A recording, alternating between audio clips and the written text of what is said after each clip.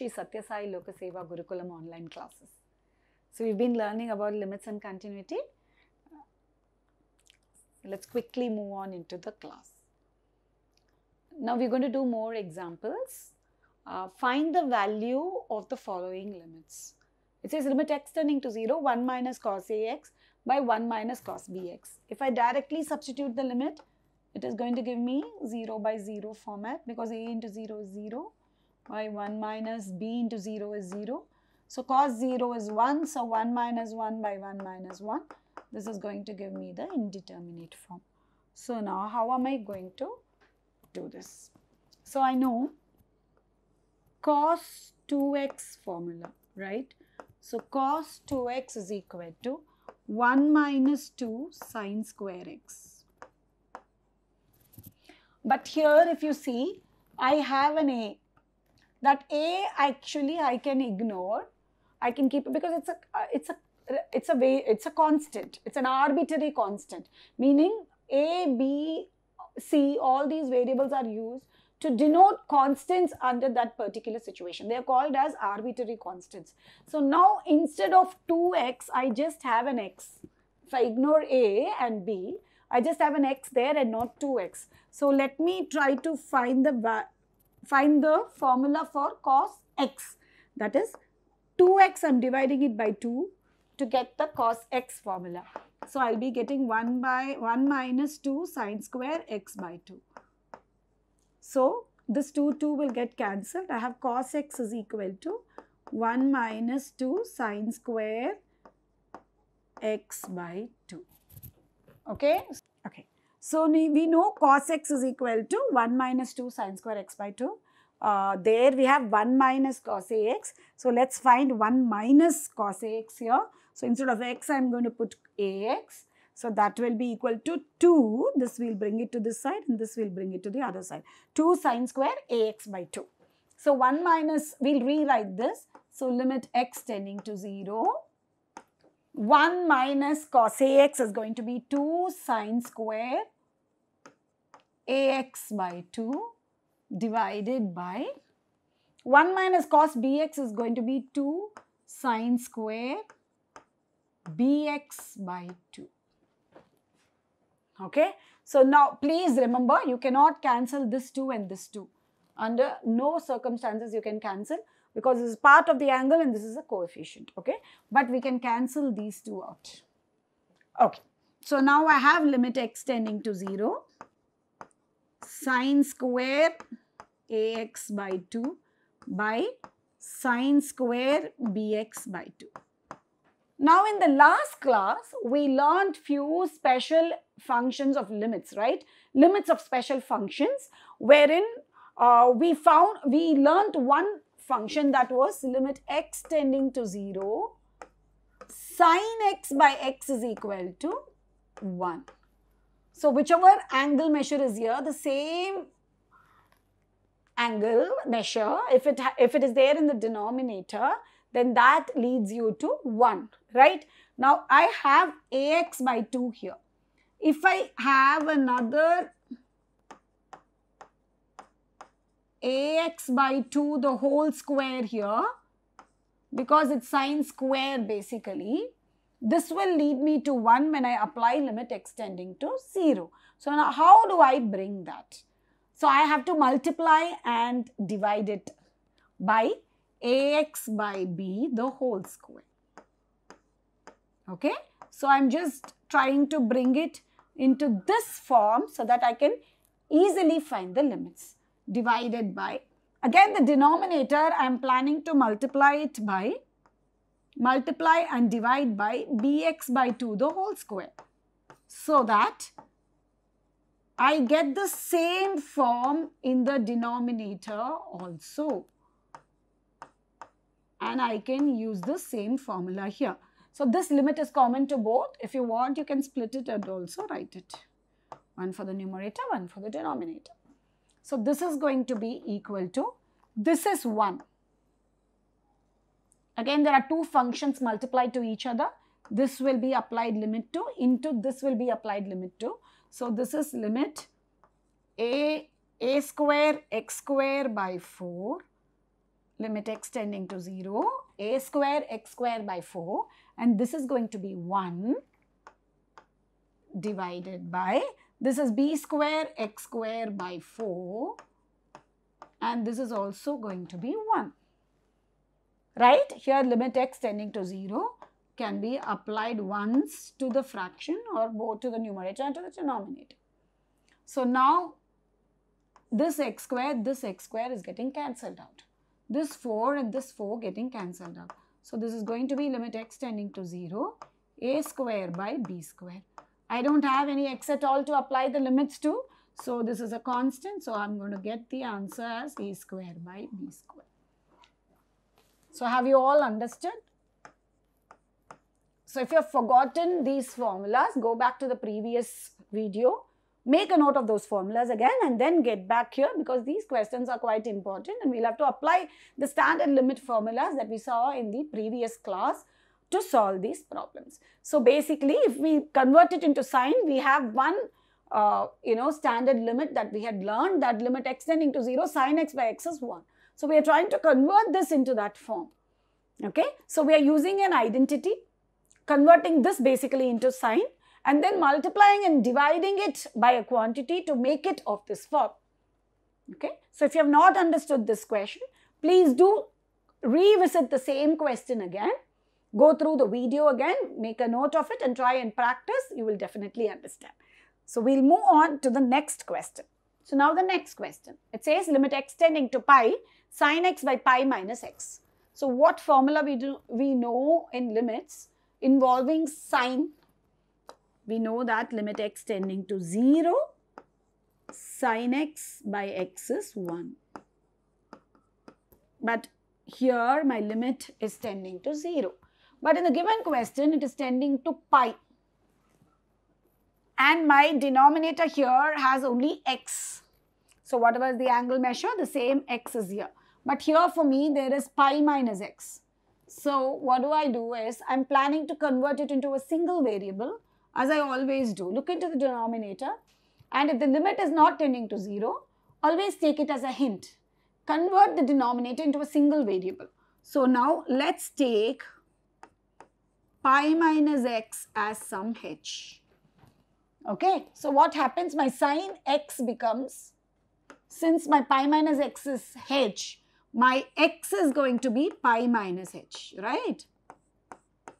So, x I can replace it by pi minus h divided by this pi minus x is going to be h. Now, I cannot write limit x tending to pi because my entire function has changed in terms of h. So, I have to convert the limits also, also limit also in terms of h. So, what do I do? When my pi limits to when my x limits to pi, what happens to h? So my x is limiting to pi. Let's substitute pi in place of x and c. You're getting a 0. So that is my h value. Correct? So my limit h will be tending to 0. So my question has got transformed into this.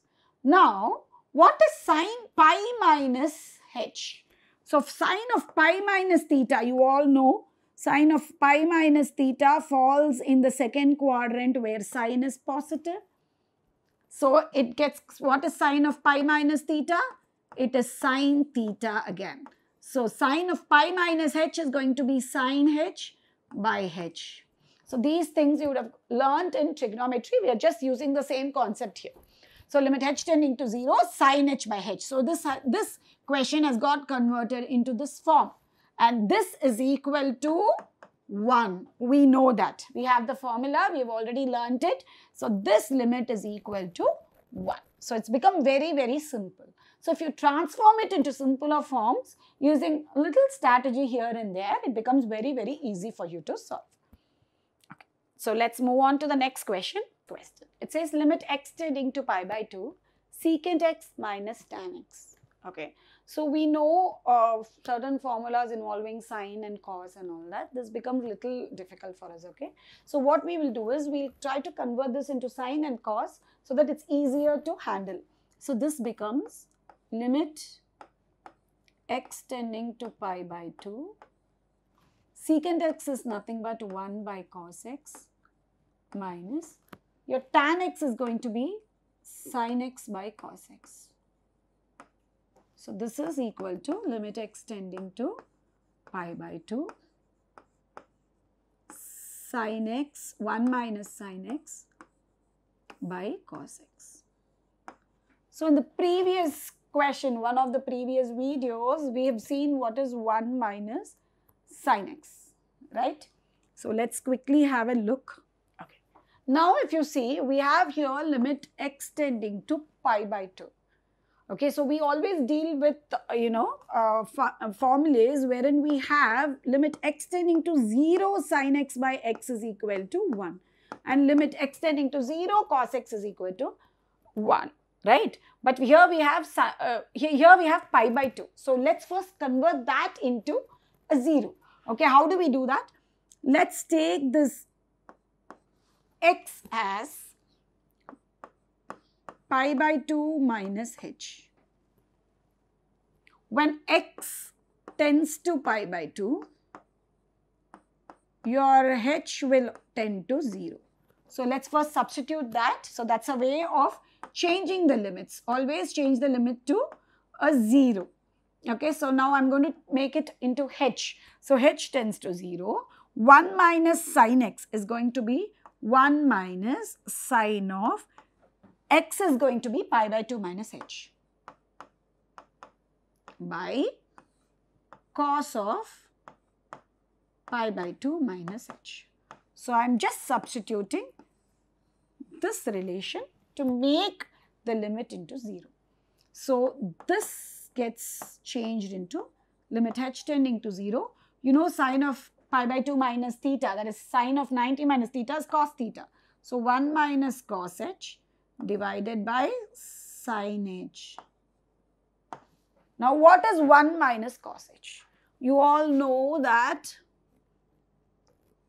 cos 2h is 1 minus 2 sine square theta, 1 minus 2 sine square h. Now, 1 minus cos 2h is 2 sine square h but we have only cos h there. We'll divide this by 2. So we have 2 sine square h by 2 is 1 minus cos h. So 1 minus cos h is going to be limit h tending to 0. 1 minus cos h is going to be 2 sine square h by 2 divided by sine h. Now again we cannot apply directly.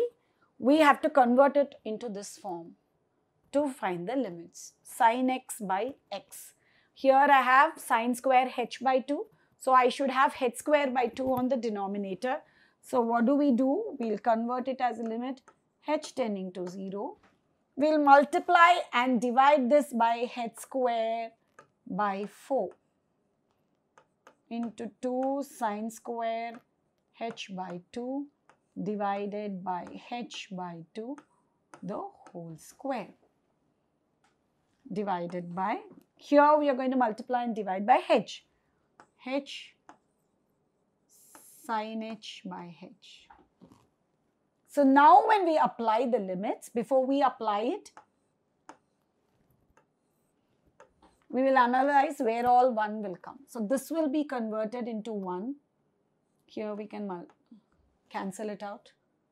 So this becomes 1, this becomes 1. So we have limit h tending to 0. This is h square by 2 divided by h or into 1 by h. So h h gets cancelled. You have limit h tending to 0, h by 2. When I substitute, I get a 0 here. So let's move on to the next question here. So the next question is limit theta tending to 0 tan 7 theta by sine 4 theta. Now always remember whatever angle they have given you, whatever variables they are using for angle, please make sure that you use the same in your solution. Only then you will be getting full marks on it. Okay. So now here we again know limit x tending to 0 sin x by x equal to 1. Okay, and also we know that limit x tending to 0, cos x is also equal to 1. Now, we'll try to convert this into sine and cos so that it's a little easier for you to deal with it. So, we have limit theta tending to 0, sine 7 theta by cos 7 theta by sine 4 theta. Now, this cos 7 theta is not a problem because when you lim when you apply limit uh, theta tending to 0, it's going to become 1. But here is our challenge. So, we want the same denominator as the angle value. So, we are going to multiply and divide by sine theta. So, limit theta tending to 0, sine 7 theta by 7 theta. So, I will multiply this by 7 theta here into cos 7 theta that's already there in the denominator into this we'll again take the reciprocal and bring it to the and put it as a fraction. So into 1 by sine 4 theta, again I need to multiply this by 4 theta and divide by 4 theta. Now let's start applying limits. So when I apply limit theta tending to 0, this part becomes 1. So I have limit Okay, let's start applying the limit. So I will not write limit theta tending to 0 now. So I'm going to start applying. 7 theta, we'll keep it like that as of now. At the end, we'll apply. So this becomes 1. This becomes 1 into 1 by 4 theta. This becomes 1. And fortunately for us, this theta and theta gets cancelled. So we have 7 by 4 as our answer. If you apply limits here, 7 into 0 becomes 0 and 4 into 0 becomes 0. 0 by 0 form it will lead you to. So put that theta then cancel it out when you apply the limits so that you get a proper valid answer. So this is equal to 7 by 4. Hope you understood whatever questions we did today.